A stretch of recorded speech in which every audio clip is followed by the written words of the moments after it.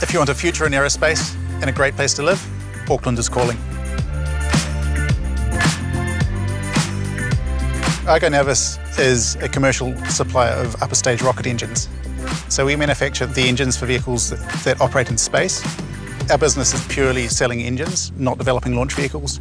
However, in order to validate our technology, we have developed our own sounding rocket, which is what we're flying today. So we're out on our private launch range on Kaipara South Head, just prepping for the launch. Weather's looking good. I've hired a very diverse range of people to join the team. We are 50% women.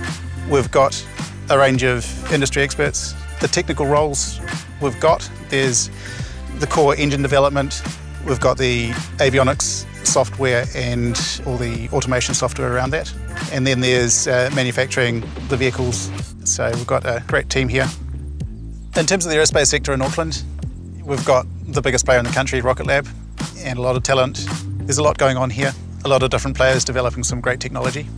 It's great to be in this community, a lot of people to lean on for help. In terms of lifestyle, it's great here. You've got great beaches, you've got great swimming. I've been into sailing my whole life and got a yacht to go cruising, so my wife and I get off around Great Barrier uh, reasonably often and enjoy a bit of time out. The New Zealand aerospace sector is worth over $1.6 billion annually. It's a growing industry, there's a lot of cool stuff happening, and it will be a very significant part of our GDP in the not too distant future.